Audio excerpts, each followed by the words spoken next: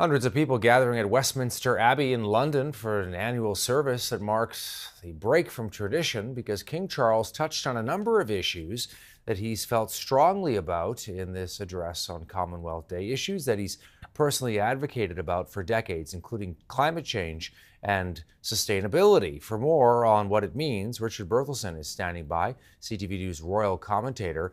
Richard, I want to get your thoughts on what we heard from the king today and how it was something of a break from tradition because he talked about some pretty specific issues in this Commonwealth speech. Yeah, it is a bit of a break from tradition. The real big break is that the king delivered the speech himself. Mm.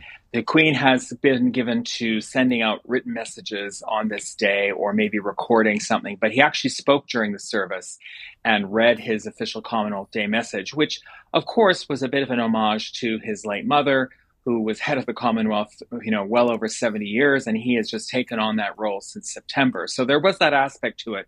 But you also saw some references to various issues within the Commonwealth notably around the Commonwealth Charter, which is a statement of principles for Commonwealth members to live up to.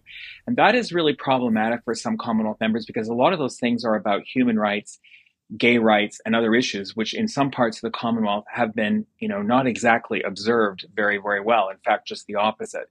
And he also made reference to climate change, the environment more broadly, and sustainability, which are things that he always has done. Now, the Commonwealth Day message is an opportunity for the King, in his capacity as head of the Commonwealth, to speak a little more personally because it is not a speech which is given on the basis of government advice. It is really a personal message from him in his capacity as head of the Commonwealth. I don't think he really strayed out of those lines. I think it was pretty uh, what we might expect, but it was really going to be a challenge. It is going to be a challenge for some members of the Commonwealth to live up to some of the ideals, particularly in the Charter. Mm. Let's listen to just a little bit of what the King was saying uh, during this landmark speech here, Richard. The Commonwealth has been a constant in my own life, and yet its diversity continues to amaze and inspire me. Its near boundless potential as a force for good in the world demands our highest ambition.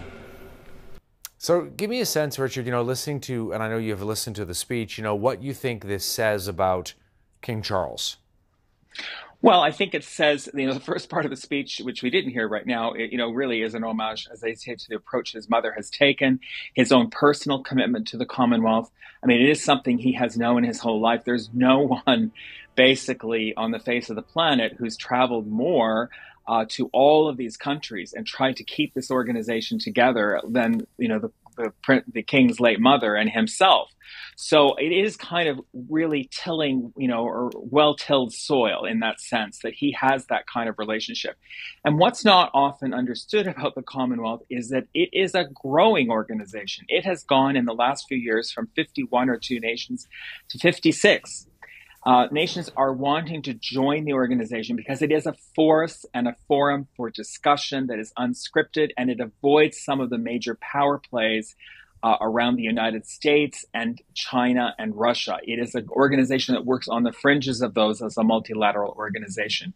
And we know in our own country we have huge Commonwealth ties, and Canadians are very proud of those at times, such as the Commonwealth Games, for example. So, this is an organization where most of the countries are now republics. They have their own heads of state. There are 15 where the king is the head of state as well, like Canada.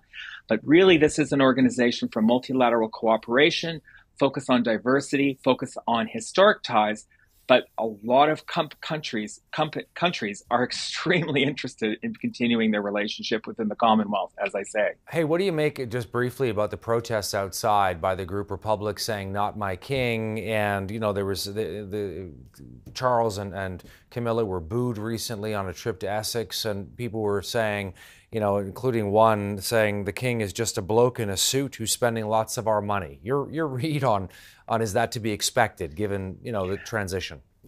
Well, I think there's no doubt that with Elizabeth II gone, there is a bit more freedom by for some groups who feel that they can speak out against the monarchy now in a way that would have been extremely in poor taste with the long reign of the Queen, who was universally respected. You know, the King has got to earn that.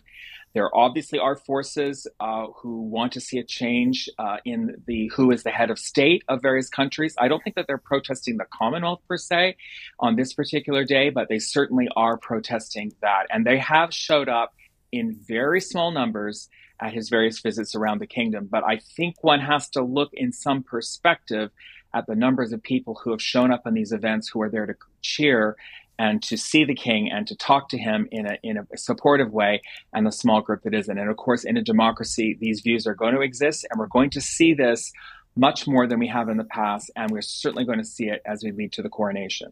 Appreciate this, Richard. Thank you.